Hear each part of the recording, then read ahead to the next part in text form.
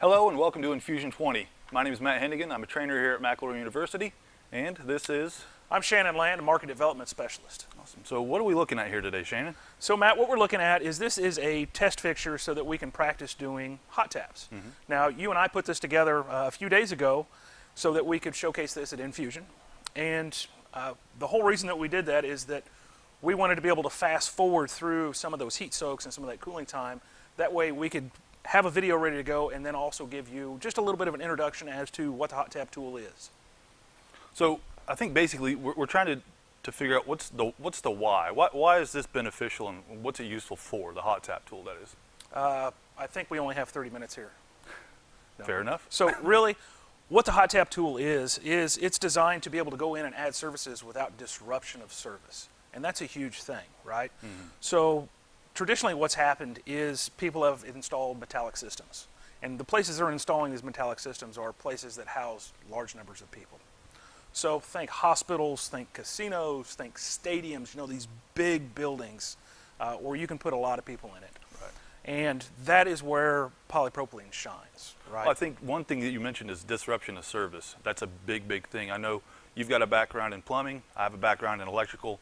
Both kind of scenarios where you don't want to have a whole lot of disruption, you know, kind of messing people's life up. And, you know, you don't. Whether it's water or it's electricity, if you don't have water or electricity, somebody's going to be getting a little bit irritated Right. at that point. So being able to do this without disrupting service is huge, Mm-hmm. right? So uh, traditionally, as I was saying, metallic systems are the ones that are used, right? Because they could spec in that you can go back in and you can hot tap that at any point. Well, that was kind of before the McElroy hot tap tool. Mm-hmm. So now anybody that's installing those systems in those those buildings that house massive people no longer have to put in metallic systems that you have to put in because you have to hot tap later. Right. Because now there is the option of going in and hot tapping those lines with a polypropylene system. Now, we're not new to the hot tapping process. Right, I was I mean, it's been that. 30 years. Right. So we've been in the business of doing hot tap on the HDPE side for a long time, and it's a tried and true process. Uh, we've just made that whole device a little smaller. Right. That's one thing that a lot of people, you know, bring up. If, if they're used to seeing a traditional hot tap tool, this is a whole lot more compact. And It is having And- to get into crawl spaces or attics and you know that sort of stuff, carrying that with you is a whole whole lot easier than. Well, your old field being in electricity and my old field being in plumbing, we know a little bit about those tight Mm-hmm. Correct, spaces. yeah. And pretty much all the tools that we have to deal with, we can get those in some tight spaces. Right. That makes all the difference. It really does. so you, you mentioned we've got some other tooling here. Uh, do you want to walk us through the the Hornet that we've got I will, and this is this is kind of where we start the whole process, Right. right? So we've we're on a pressurized line that we don't want to disrupt that service, and we want to add a service line. It's pretty easy to do. So those that are that are not new to the polypropylene world have seen something similar to this, which was an outlet, right? So an outlet would have a pin right here, and in order to put this on, you just drill a hole. Only if you've got pressure on the system, you probably don't want to Yeah, do that. Not a good idea. No. So what we have now is it's a saddle fitting, right? And so we're going to use the Hornet in order to attach the saddle fitting to the crown of the pipe. And basically what happens is we're just melting the surface area of the Sure. fitting and then the surface area of that and then we're going to fuse them together just like any other fusion. Right, and we'll go we'll go more into this in, in our video. Uh, it's, you know, we've got the spider here. We're going to use the spider to fuse our pup piece with our ball valve on it to the fitting that we put on, uh, and then we'll actually go into the hot tapping process. What's a pupped piece? A pup piece is, if you can see this piece here, we've got a piece of pipe here and a piece of pipe here, and it is fused to the ball valve. We just call that a pup piece. So, Okay.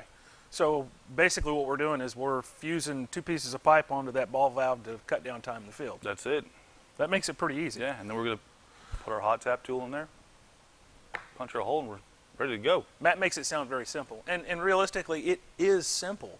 If you've got just a little bit of experience in fusing uh, thermoplastic pipes, it's not a hard process. We're doing a saddle fitting, we're doing a socket fusion fitting, and then we're going to hot tap it. Yeah. And then once the hot tap's complete, uh, we've got a complete new service line, and we didn't have to disrupt anything. Well, and the cool thing is, is we also added an, another place to shut this off at. So, That's very true because if there was problems later on on that on that leg, you can just go ahead and shut that off. That makes it really handy. Mm-hmm. yeah. So, So, uh, we've got a video for everybody to watch, yes, we do. and then after the video, we've got a question and answer session, right?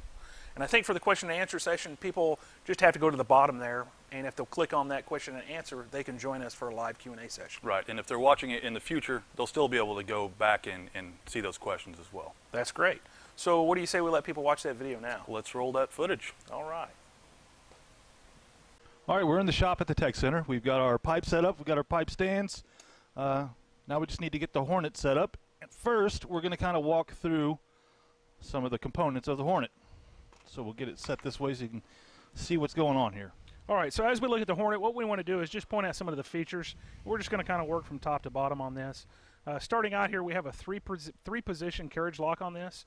And what this does is it gives us the ability to either lock it up, lock it down, or have a neutral so that we could run it freely up and down. And then we have our drive handles on the side. Right in front of us, what this does is this holds either our drill adapter or our fitting adapter. And it's got a uh, release pin in that. You can just slide your adapter in there and it locks in place.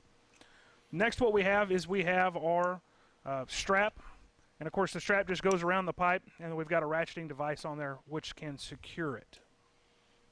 So what we're going to do now is we're just going to get this secured onto the pipe itself. And to do that, all we're going to do is we're just going to strap it in and tighten it up. All right, so we've got our Hornet onto our pipe now. It's nice and secure. We used our bullet level on here to make sure that we've got the correct angle we're going to add our service. And in this case, we wanted to do a 90 degree service off this. So where we're going to perform our hot tap uh, is going to be right here. We already know that. We've got everything marked out. And so the next thing we're going to do is we're just going to start going into the next steps that we have. First thing I want to point out though is Matt's holding, uh, this is our fitting adapter with a load cell built into it. Because we're doing a saddle fusion, we want to make sure that we can control the pressures as to what pressure we put on the pipe or on the heater. And we can do that because of the load cell and the analog gauge that's built into this load cell. So why don't we go ahead and install that, Matt, and we can show everybody how it actually clips in on top. Sure. It only goes in one direction. Uh, you'll notice this tapered part here that matches up with this. There's a slot right there that this pin slides into, and you can hear it click into place. Very nice. So it works just like a regular fitting holder. Uh, there's a knob at the top that compresses this uh, rubber puck, and that actually uh, fits in the inside or the ID of the fitting itself and holds it into place. Very good. So we've got our Hornet installed. Uh, we've got our fitting adapter with load cell installed. We know exactly where we're going to do our saddle fusion. So next step in the process is we need to get our pipe and our fitting prepped. So what we're going to do now is we're just going to take some 50-60 grit utility cloth and we're going to clean both our pipe and our fitting and we're going to follow that up with some alcohol. Now depending on the procedure that you use, it may go one way or the other. Some of the procedures that are out there uh, will call for abrasion or not abrasion. Some may call just for alcohol. But what we're going to do is we're going to start out with our abrasion on our pipe, and we're going to use that 50-60 grit utility cloth, and we're just going to remove that very fine layer on top. What we're trying to do is we're just going to try and remove the oxidation or possible contamination that may be on, we'll call it the film of the pipe itself. And really, that's all what we're looking to do. Again, just moving, removing that top layer of pipe. Sure. So our pipe is, is cleaned now. It's abraded. We're going to move into our fitting. Matt, why don't you tell people a little bit what makes this fitting different? Sure. If you can see here, it looks just like a socket fitting, right? It's only missing one little piece, and that's the that's the pin that would traditionally uh, we would drill a hole here, and the pin would go inside the crown of the pipe, and that's how that fusion would happen. Uh, for obvious reasons, we've got a pressurized pipe. We don't want to drill a hole no. into that, right? Or you can. I'm good, man. Okay. I'm, I'm good. Let's so, do it. Let's do the, the saddle fusion instead. So we've got we've got our fitting here. We've got this abraded. We want to abrade this as well. Uh, same situation. Making sure this is clean. We've got good clean mating surfaces. And again, it's it's not a process where we have to get on there. We got to scrub the pipe. Right. We're just removing any possible contamination or oxidation that may be on there. So now that we got that clean, uh, why don't we go ahead and clean everything with alcohol? Sure. And before we do, Matt's going to make sure that's secured, not tightened, but just kind of secured within the fitting adapter itself. What that allows us to do is use the actual Hornet itself to help us line this up. So I'm going to let that kind of hold there. All right. And so again, the procedure that we're using, we're abrading, and then we're just cleaning off that surface with a high-grade isopropyl alcohol. And we're doing that with a lint-free clean cloth or paper towel. And so now we're getting our pipe nice and clean and just removing some of that debris that may have been left over from the ab- ab- abrasive material on the pipe. And then we'll do the same thing on the fitting itself. And you can see Matt's not using the same paper towel for each one because we want to make sure that we keep both of those surfaces from getting contaminated.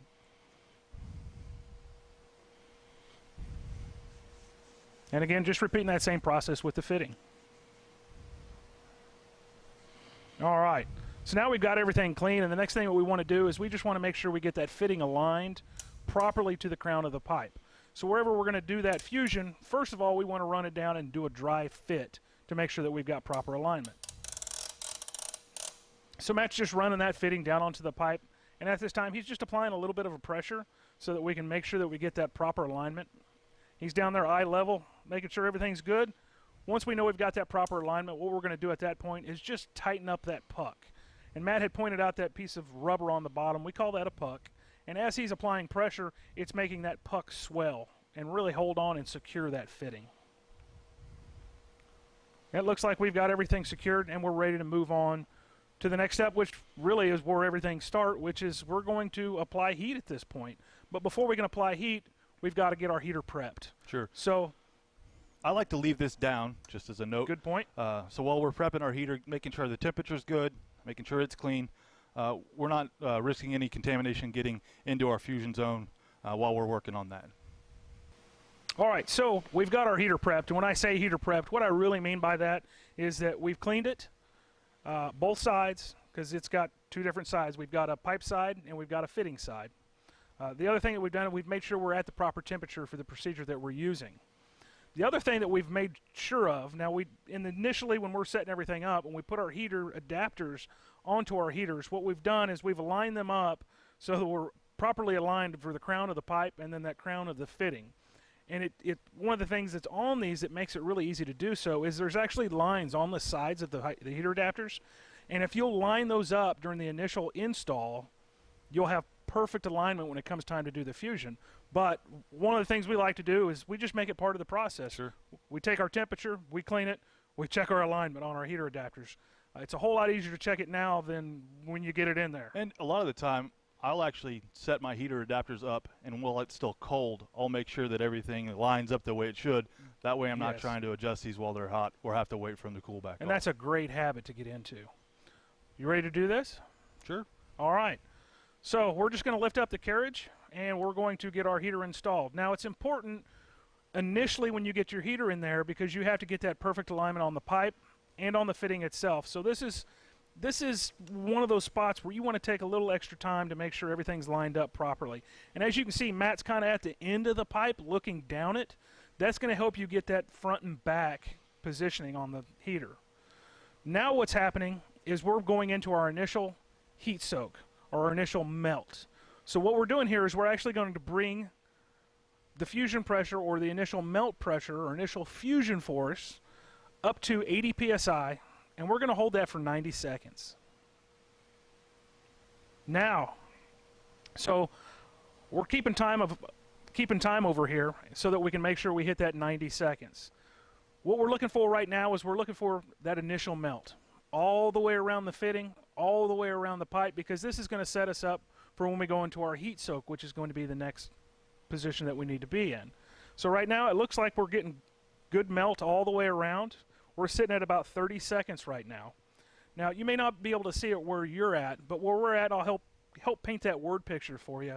What we're looking at is we've got melt coming off the heater, and we can see that the heater adapters themselves are grooved, both on the pipe side and on the fitting side. What that's going to do is that's going to give us a good melt pattern and a good uh, area so that when we remove our heater and we bring our pipe down on or bring our fitting down onto the pipe, we're going to have two good surfaces for those to uh, have a fusion take place on. So right now we're sitting at about 60 seconds, so we've still got a little bit of time left. Again, we, not something we want to rush at this point. We're still making sure that our alignment's good, still making sure that we're getting a good melt pattern around the pipe and around the fitting, which as I look at it, we're getting a really good melt pattern all the way around. So at this time what we got to do is we've got to get ready to go into our heat soak. Right. We're going to do our heat soak at a zero pressure, and we're going to do that for 65 seconds. So, as if Matt's ready, we'll go ahead and go there, into so our heat soak. Yep, relieving pressure. Okay. So, which another thing that you may not be able to see that we're going to show you later is on this side, we've got an analog gauge which is showing us what pressure we're at. So we were at 80 psi for that 90 seconds. Now we've dropped down to 0 psi and gone into that heat soak, which we're doing for 65 seconds. And it's important during this step to make sure that you support the heater. You don't want this to rock back and forth and displace the, the molten material. The last thing you want to do is let go of that heater handle because what you see, we'll see it when you've got zero force on there, that heater will tend to slide front or back or side to side even. So we want to make sure we've got a really good melt pattern on this. Looks like we got about 20 seconds left. You're good at timing things. And this is this looks like a good fusion. Again, we've got that nice melt pattern.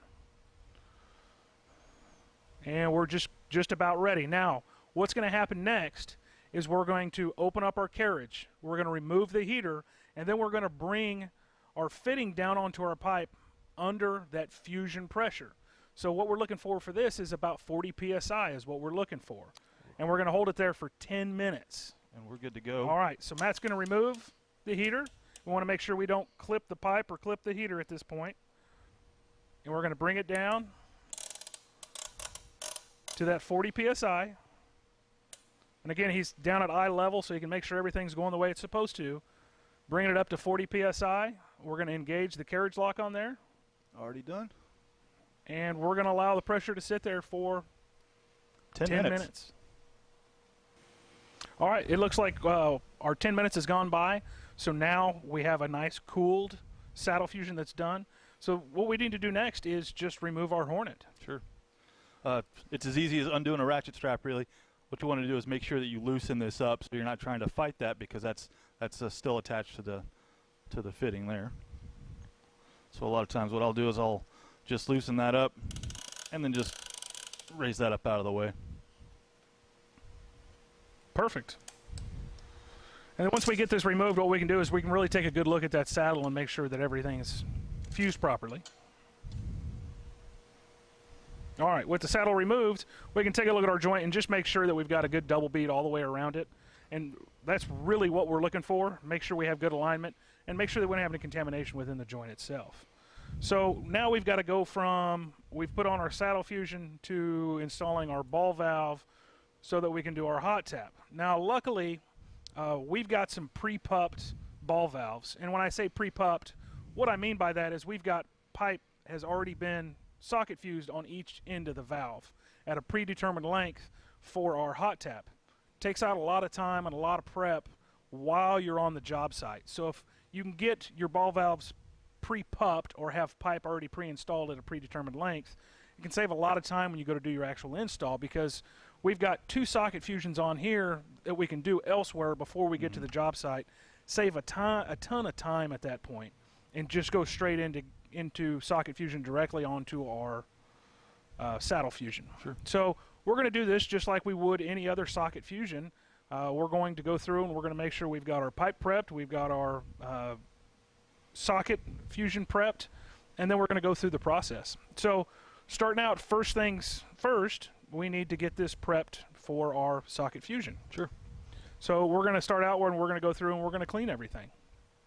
So we're going to use that same high-grade isopropyl alcohol and that uh, lint-free clean cloth or paper towel, and we're going to make sure that everything's clean. Now what we're doing on this, so the outlet side of this, what we're putting on our actual service, this is going to be a 63 millimeter or uh, 2 inch. So what we're going to do is we're just going to prep it, just like we would do, again, any other socket fusion that we wanted to do. And at this point, we've got a couple, a few different options that we can do. So we've got tooling where we can do everything manual fusion, meaning we've got a handheld heater with heater adapters on each side, and we can do it manually, just hold our heater and insert our pipe, or we can utilize that spider like we've talked about before. Uh, either way is going to work. The spider may give you a little bit more uh, alignment, but we can also do that by hand. Sure. I think the spider is going to be beneficial, you know, as far as keeping it consistent every time. So we'll use the spider. We'll use a spider. all right, so as you can see, there a lot's happened. Uh, not only did we just get all of our pipe prepped, meaning we got everything cleaned, but we've also installed our spider. So the spider we've installed on the saddle fitting itself and then onto our pre-pupped ball valve on the pipe. Uh, in addition to that, what we've done is we've prepped our heater. So we've made sure that our temperature is up to the correct range, and then we've made sure that both sides, meaning both of the heater adapters, have also been cleaned. And at this point, we're ready to go into our heating process. Now we're going to do this again, just like a socket fusion that we would normally do. We're going to follow all the same procedures and standards that we normally would. So what we're going to do on this is we're going to insert our heater and we're going to going to uh, rotate our handle on here, which is then in turn going to bring our carriage together within our spider, and then our we're going to get our uh, heat onto our pipe and our fitting at the same time. We've also gone and gone ahead and marked our depth on our pipe so that we know exactly how far we've got to make sure that our pipe is inserted into the heater so we get that proper melt. So Matt, I think if you're ready, we can go ahead and begin the heat process on this. Sure. And so as you can see, he's off to one side again, just making sure that he's got the proper stab on this. And now we are beginning the heat process. Now, when you go to actually apply heat to this, we're not trying to just crank down on this thing and push the pipe and the heater adapter into the saddle as fast as we can possibly do this. What we're allowing, what we're trying to accomplish is to allow the heat to do that work. We're going at a moderate pace and allowing the heat to penetrate as we're uh, inserting the heater adapter into the fitting and also inserting the pipe into the heater adapter. And so once we're bottomed out on this, we're going to begin our time. And our time for this, the procedure we're using is going to be 24 seconds. So it looks like Matt is there right now, so we're going to begin our 24 seconds. And again, we're still looking to make sure that we've got a good even bead all the way around on the pipe itself and on the fitting.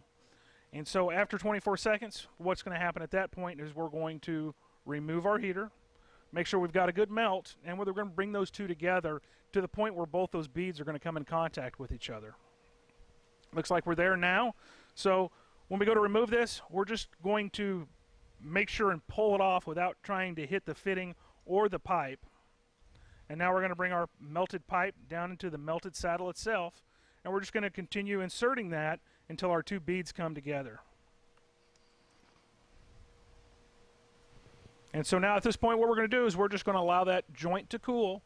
Once our joint has cooled, at that time we're going to be ready to go into our hot tap.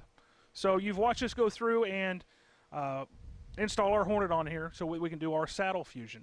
We've completed the saddle fusion. Then we moved on to our socket fusion. We did everything necessary in order to get everything prepped, and we used our spider to assist within that socket fusion. So once the socket fusion has cooled, at that point, we're ready to get into our hot tap. Now again, the procedure from start to finish, from installing your hot, or excuse me, installing your Hornet until the time your hot tap is complete, it runs about 30 minutes. Now, that's with making sure that your ball valve already has the pre-fused pipes on it. It will add additional time if you don't pre-fuse on the additional pipes that predetermined makeup. But right now, we're just going to continue to allow this cool, and we're going to come back and do our hot tap. All right, so as I said just a minute ago, we're ready to begin our hot tapping process. Everything else up to this point has, has gotten us ready for this. So with this hot tap tool, there's some things you need to know about it. And one of those is how this is going to actually go onto your piece of pipe. So I don't know if you can tell or not, but this piece of pipe is cut very square, and for this one it is chamfered. We want to make sure that we've got a nice clean pipe edge so that when we actually go into the bottom of our hot tap tool, it's going to actually block up against the O-ring that's in there. Because inside here, we've got an O-ring and some locking rings that are going to help this uh, housing lock around the pipe itself. So let's go ahead and get this installed. Sure. First thing I want to make sure of is that I've got my valve open, so I'm not going to damage that ball valve inside. And I want to make sure that this uh, pressure relief valve here is closed, so we don't have any accidental. And you just put on your safety lanyard. Safety lanyard goes on. Now these this what he's pressing on here, those are the locking rings, and you've got to make sure you bring those up spring, in order to slip it over to the yeah, pipe. spring detent. Can hear it bottom out. And now we'll just drop our cutter down. And you can feel it bottom out on the pipe. All right, and we really have two different options here, right? as far as cutting the pipe Sure. itself? Yeah. You can attach a drill uh, or use a ratchet. I'm going to use a ratchet just because it uh, gives me a little better feel. All right. So here we go. So we're cutting in a clockwise manner. Yep.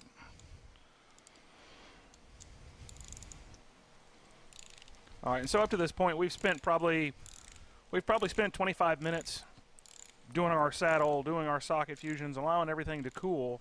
And now this process here at, in real time, you'll see it takes you know just a couple minutes in order to do your hot tap. And he's here in just a second. He's going to be able to feel, and I think Yeah, you can can- just see even see it on the camera. Right. You could see that instant release when he cut through the pipe. So now we've cut through the pipe, and we're just going to reverse our action and pull the actual hot tap cutter out.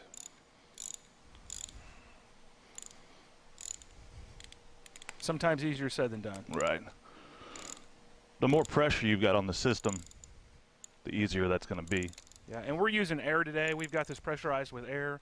So whenever you're using air, we just want to use just a little bit of pressure. So we just have about 4 psi on the system right now. And so what's happening now is that cutter is actually coming through the ball valve, and we've cleared the ball valve now. So at this time, we We can shut the ball valve off. We still have pressure on that side, so we'll shut that off. So now we're controlling pressure between the ball valve and the pipe itself. So before we can remove the hot tap tool, we've got to do something else, right? Yep. We'll relieve the pressure that's between here and here with this uh, valve right there. So And it was just a little tiny bit. Yep. All right, so now we'll just take this off. We'll lift up on this, slide right out. Safety lanyard comes off, and you'll notice that the uh, the coupon is retained inside the cutter head, so uh, we don't have to worry about anything going into our system. Well, and, and and as important as that coupon is, all the debris itself through that cutting process was retained in Right. the head. So now we've got a nice clean hole for our service here, so that we're not reducing any volume to be coming through the service line. So our hot tap now is completely ready to add the service line. Uh, so you can get your socket outlet fitting, fuse on your socket fitting, and then run your service line. And that is the completed hot tap tool fusion. So again, starting with a Hornet, we came in and we went through the complete process for doing a saddle fusion. So we put our saddle on here. Once our saddle fitting had cooled, at that point where we can go in and we can install uh, our pupped ball valve. And when I again when I mean pupped, it means we've pre-fused on our desired length of pipe on each side. What that really is going to do, it's going to cut down on our install time because we can we can fabricate this way before we ever go Right. into the field to do our hot tap. So once we have our pipe socket fused into our saddle with our ball valve, then it's just a matter of installing the hot tap tool, making the cut, making sure we relieve the pressure as we pull the hot tap tool off, and we've got a service line ready to go. And most importantly, we've never disrupted service. Right. We've never had to shut that line down to add this line. And I think that wraps us up. That wraps us up.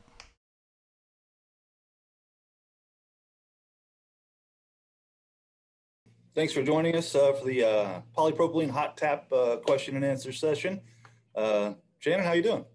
I'm doing all right, man. I'm, uh, you know, I feel a whole lot better that we just knocked Great. that out and I had a good time. Little, I felt a little bit there for like Night of the Roxbury. That's right. That's right. Just a little bit. It was good. So, yeah, thanks again, guys, for joining us. Uh, you know, before we get started, obviously, thanks.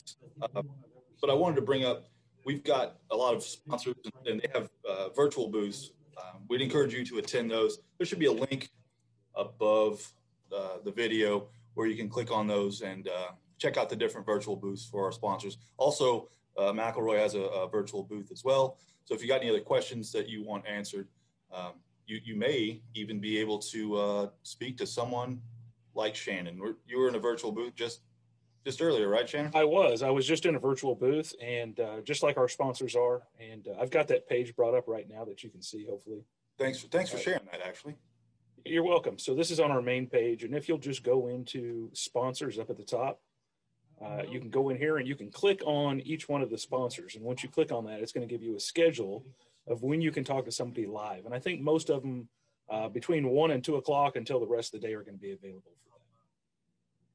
So speaking of live, uh, so if if someone chose to to attend uh, one of these meetings but had to had to skip one that they really wanted, to see, they're going to be able to go back and watch those at a later date, right?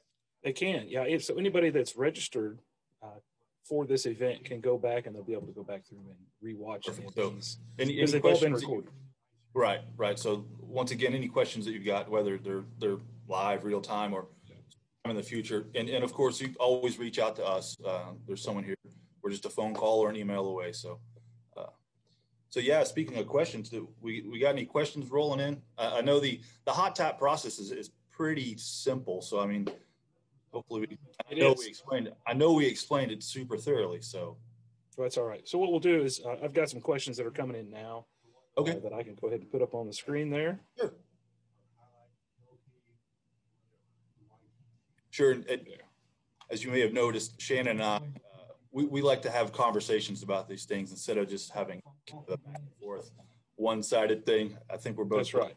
So, So one of the things that uh, the first question we've got, Matt, is what is the pressure range that you can operate in when you're doing So- hot tap?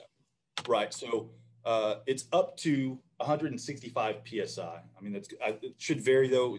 Make sure that you check with uh, the recommendations of the fitting manufacturer that, that you're using, but uh, up to 165 psi. I don't know what that is in bar, so if I don't, sorry, I should have done. It's okay. That is perfectly okay. So I know that when you and I went through the process of actually doing the hot tap, when you got up there and you were actually doing the cutting, uh, you were using a ratchet. So you were standing up there using a ratchet. Uh, a little easier for you to do versus me because you've got about three feet on me. Uh, so you were able to get the leverage that's needed. Uh, but for us smaller guys, is can we use a drill? And if we can, uh, is there any kind of drill we have to use? Uh, no, no particular drill, and yeah, absolutely, you can use a drill. So we had talked about, you know, coming from our background, background. I have an electrical background. A lot of times when we're making these repairs or you know adding these things, it's not always in the easiest. Up on a scissor lift, you'll be in an attic, you'll be under a house, or, or wherever the case may be. It's kind of tight confines. So I chose the ratchet because you know it's it's just easy, it's compact, and you can throw it in a backpack if you needed to crawl in somewhere and uh, and do the work there. So- and also for me, because luck of the Irish over here, uh, I like to make sure that I don't tear stuff up, which I will. If you get something I can tear up, I I assure you I will tear it up. So I understand completely. I'm I'm in the same boat. break the ratchet. I'm in the same boat. Uh, so we only we only fused uh, one size on and did one size cut, but there are multiple sizes available. Correct? Yeah. Oh, yeah. Uh, so 32 to 63 millimeter. Uh, that I did convert. It's one to two inches. Uh, so, and that's on on mains 40 millimeter and up. And up. Yeah. So if we wanted if we wanted to do a, a saddle fusion and then a hot tap on a 630 millimeter, we could do that. Yep. Up up to 630 millimeter. Look at you just adding that in there. All right. So our next one, uh, again, going back to you know working in those tight confines and trying to get stuff under a house or in an attic or wherever you may be. Uh, we had said many, many times, "Oh, this stuff is so lightweight," but what we did not say is, what does it actually weigh? So it's going to vary, but it doesn't vary much. Okay. So Okay. the hot tap tool ranges from four to five pounds. And, and when I say it varies, it's because of the size of the, the cutter. So of course, Uh-huh. cutter, the more it's going to weigh, right? So uh, it doesn't weigh much. So once again, like I said, you could throw that into a backpack with the ratchet and crawl into wherever you need to go and, and make that repair. With that being said, you're going to need the Hornet, right? So, and we talked about that being lightweight. It doesn't weigh that much either. So it's, it's, it's 14, 14, 15 pounds. So 20 pounds of stuff on your back. I know you've done way more than that, Shannon. Uh, having a military background, uh, easy enough to throw all that into a backpack and, and get into a tight space where you need to make that repair. Perfect, perfect.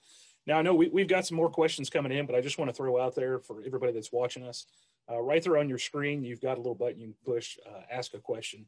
So feel free, go ahead and click on the button, go ahead and type in your questions, and what'll happen is it'll pop up on there, and then I'll see it on my screen, and then we can go through it. But please don't hesitate to ask any questions. Right. And also, Shannon, isn't there a button? If, if someone's already asked a question uh, that you also had, it doesn't mean that you shouldn't ask that question. Push that little upvote button and it kind of brings it to the top of the list. So we, we, we That's know correct. questions are, are being asked more. So, That is absolutely correct, man. All right. So, uh, one of the big things that we like to talk about on any of our machines is maintenance.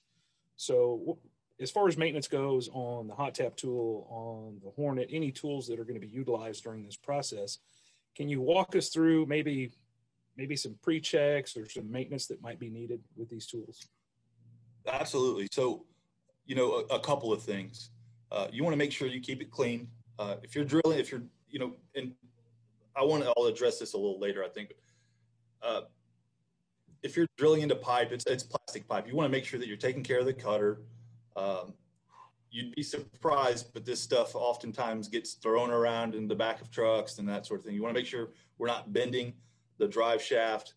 Uh, obviously, we want to make sure the safety lanyard's good and it's connected uh, for, for, obvious reasons. Um, also, that little bleeder valve, you want to make sure that that's in good working order. Uh, outside of cleaning it and making sure it's you know well taken care of, uh, you know if you take care of your tools, they're going to take care of you, right? Uh, one I suggest is inside of the cap, there's an actual there's an O-ring in there, and you want to make sure that that obviously hasn't deteriorated. There's no contamination in there. Uh, just keep it clean and lubricated, and you can do that. They make, uh, I think it's like six bucks on Amazon. It's called Super Lube, and it's specifically designed. It's uh, it's specifically designed for O-rings. So, and that it's like a silicone lubricant. It, you know, it's pretty commonly used. So, yeah. So it doesn't sound like it's too hard to maintain this stuff. No, no. I mean, if you look at it, there's not a whole lot of parts and pieces to the thing. So, like I said, just keep it clean. Make sure nothing gets bent, uh, torn up. Make sure that bleeder valve's working properly, uh, and it should be uh, should be good. Now, if I were to bend a shaft or tear up a cutter, is that something I can order separately? Right, and so you can work with work with whoever you order your equipment from. We can, if you if you need help getting a part number, anything like that, feel free to reach out to us. Of course, uh, coming from a training uh, technical service background, you can always jump on our website. Uh, we've got Parts Finder there. You can find all the part numbers and pieces and that sort of stuff. If you're bored and just want to look at, uh, you know, hot tap parts. That's right. That's right. So continuing on with parts and pieces, uh, let's say that uh, I'm a contractor. I've been using the Hornet for the last two years, and I'm really interested in getting into uh, hot tapping so that I can do saddles. Is what is the, first of all, what's the part called that I need to add to my Hornet, and can I get that separately? Right. So a lot of guys that have you know been in that industry for a while may be familiar with uh, Sidewinder, and we've got a part on there called the load cell. Pretty similar situation. You saw that we used it on there, uh, where you you actually it's got the puck where you put the fitting, and it has a, a gauge on there that tells you what pressure uh, you're at. You can buy that uh, separately, and I uh, wrote the part number down before doing this so I wouldn't forget it. It's SW30901. So if you've got a Hornet and you want that load cell, uh, yeah, by all means, uh, order one up and get yourself a hot tap. And right. I'm gonna and I'm gonna ask you one more, just if you would please repeat that part number one more time in case there's absolutely uh, SW three zero nine zero one. Perfect. So they're just going to start flying off the shelves now. Absolutely. All right. So next question. Uh, let's see. It says after you after you get the saddle fused and pup pipe socket fused, would it be advised to pressure test the assembly, probably through the bleeder valve or the hot tap, prior to actually drilling through the wall? So right. basically, the question is: Should let's let's say that uh, you're pre-pupping up your ball valves, and so you've got a you know a stack of ball valves sitting there that have been pupped already. Would it be advisable to do a pressure test on those prior to? Oh, I mean, it's sure it wouldn't. I mean, it's not going to hurt anything, right? So you're just going to make sure that that that uh, that pup piece is going to to maintain pressure. It's not going to have any leaks there. So yeah, it's Yeah, non-issue there. Okay. And then What- I've got a So I, I'm talking about you know maintenance and that sort of thing. Uh, I had someone ask me a question outside of here uh, that I wanted to bring up just because I think it's important. You know, we talk about uh, longevity of these cutters, right? So what you know, like we we talk about keeping them clean, uh, making sure obviously you know you're not banging them on stuff. You know, but one of the important parts is too, of course, cleaning everything is important. But if, if you're drilling into into dirty pipe, you know the, the dirt and contamination, that's that's gonna that's gonna wear and you know wear and tear on those. So uh, try to make sure that you you know take care of those as well. Absolutely, absolutely. So, as far as the hot tap process, Matt, I know this is this may be tough, but I want want you to remember back to the very first hot tap you did. And I know it's been a long, long time ago for you, uh, but remember back to that and and kind of talk through the learning curve, how some things that you thought were, you know, some training things that you went through that uh, allowed you to do this. So that, and then kind of the timeline, you know when I first started, it took me this long, but after I'd done five or 10 of these this long, if you could just talk everybody through that a little bit.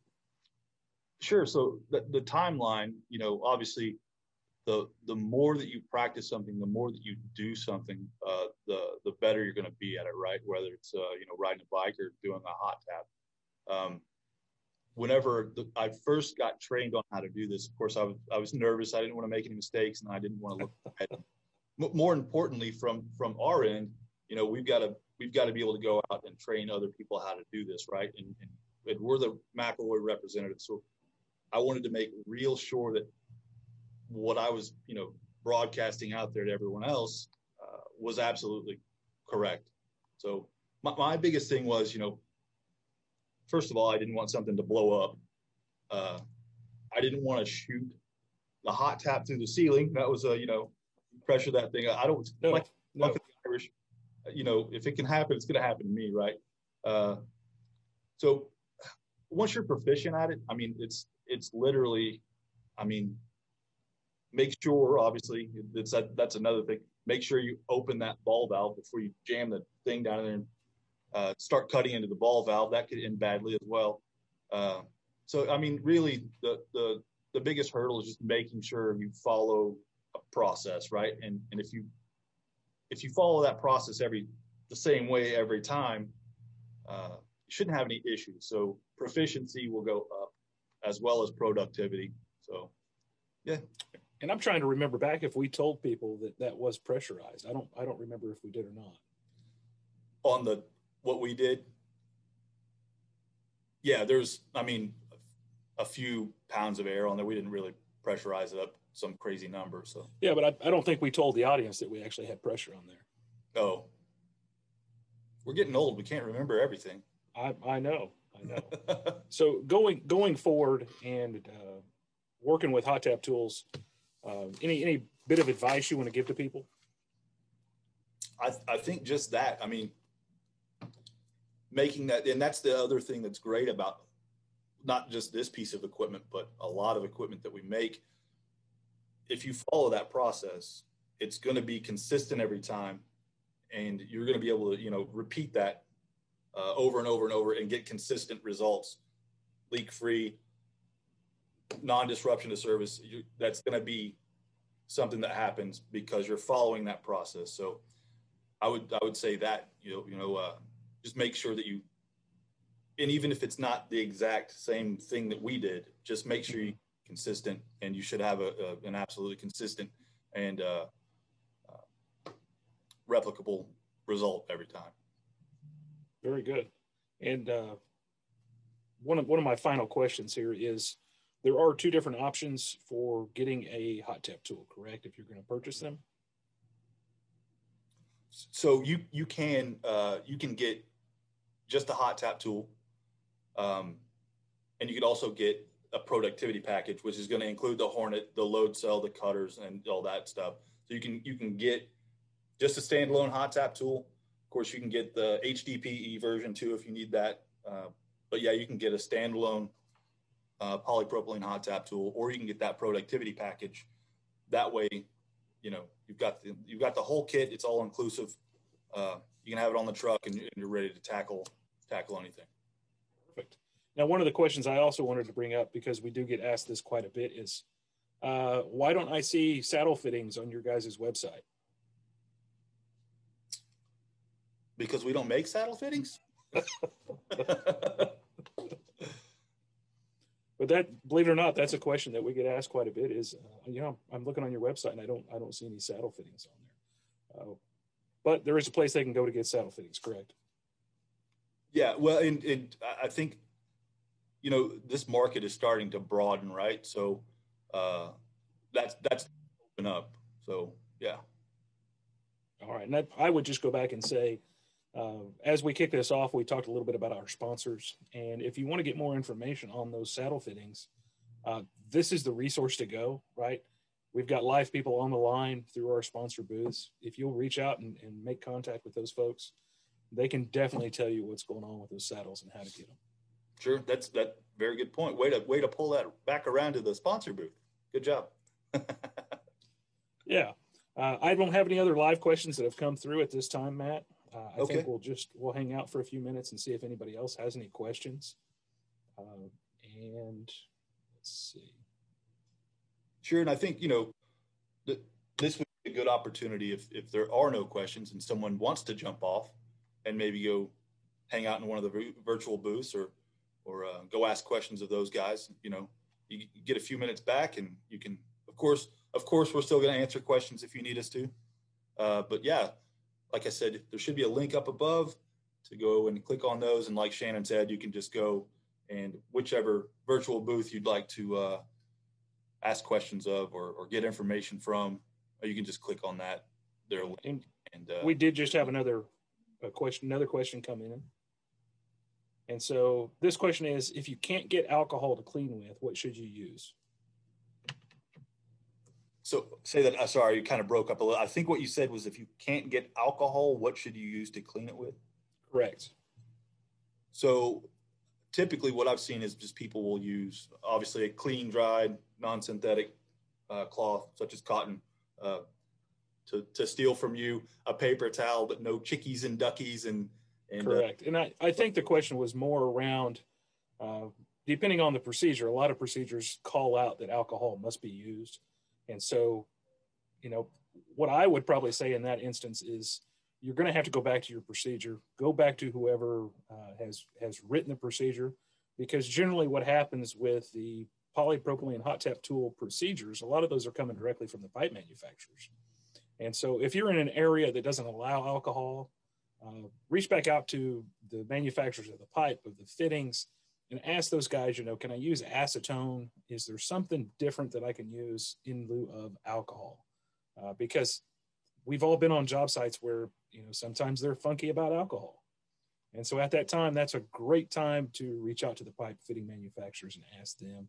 Right, and that, that was Again- something that I was gonna that was something I was gonna bring up because you know different pipe manufacturers may have different specifications because they might not want you to use alcohol because it may react differently with with the pipe material or the, the surface of the material surface of the pipe. So um, that's just that's just a good standard operating procedure anyway. So if you're using a, a procedure, you want to make sure that you know what that procedure calls out. So you just don't automatically assume because I was using XYZ pipe and they say to use alcohol that now that I'm using ABC pipe, I can use alcohol on that as well. So good points. Correct. Yep. Always, always go back to your process, and you know, in this case, go back to your manufacturer and find out what the procedure is going to be. Absolutely. Anything else you want to throw out there, Matt? We've got just a couple minutes left.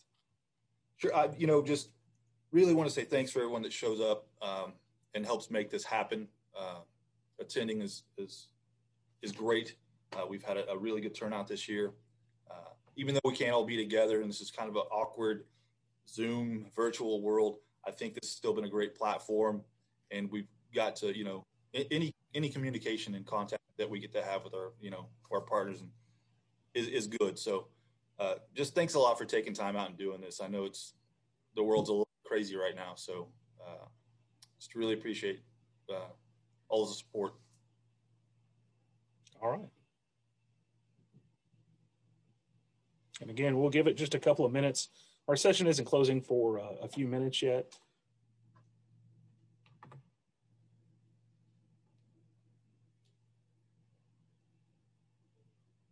I feel like it's a. Are we getting a, a Jerry Lee Lewis telethon? We got we got another caller.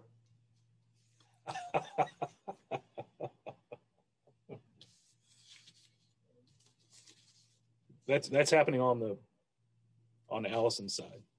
Oh, gotcha. So yeah, in in your in your line of uh, experience, you know, being out in the field and seeing these things used, I know we had we had some stuff uh, here in town that came up with a casino where they actually came through and, and used uh, something similar to this, you know, to to to make a repair.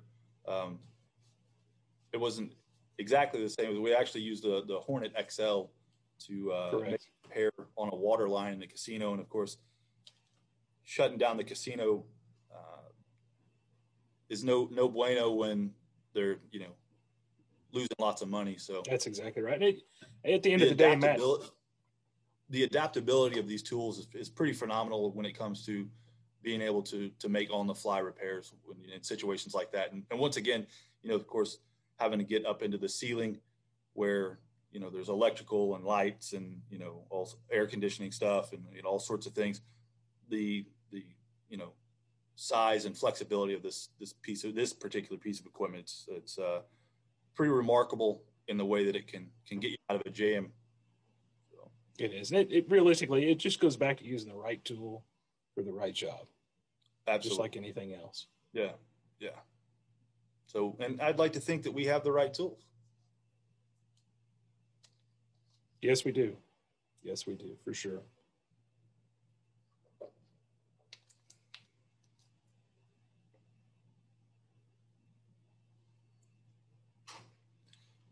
You know, while we got a second, we can talk a little bit about, you know, not only with that hot tap tool, maintenance on that, you know, the Hornets you know that's a, a pretty big part of that process too right so uh, same thing kind of applies with making sure that the hot tap's one thing but if you don't have you know a way to help you to do that uh, can kind of put you in a bind so once again you want to make sure you know you keep that thing clean lubricated make sure all the parts are working you don't want to find out in the middle of, a, of the fusion process that you've got something wrong with your machine and you're not able to to to make that fusion happen. So uh, whether it's the drive wheel or the the reversing mechanism that you know goes up and down or goes into neutral, uh, you, you want to make sure that that's all clean and in, in, good repair, so you're you're able to use this stuff when you need it. So uh, obviously, you know, make sure all the fasteners are tight and you don't have it's not wiggling around. You don't you don't want to end up with uh,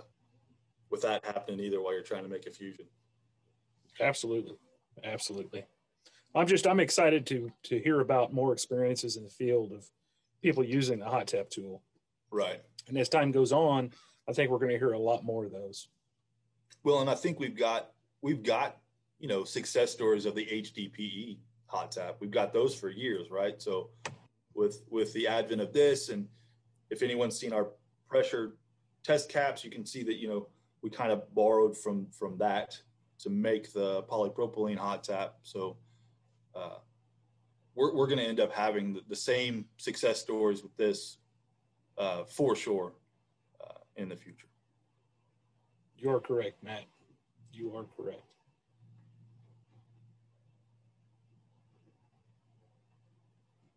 And as of uh, just a second ago, uh, well, actually, we have about five seconds left uh, for questions to continue getting asked.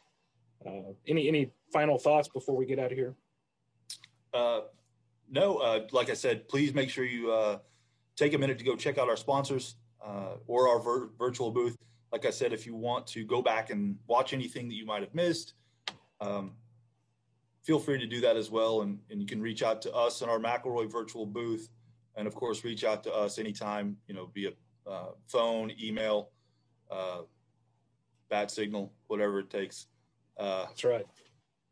Uh, but yeah, just yeah, thanks again for you know com- coming to this and, and, sharing your time with us. We really appreciate it, and uh, we hope you gain something out of it. So it's nice to it was nice to be able to get out in the shop and, and get hands on and, and uh, you know, and now we get to talk tapping. So That's right.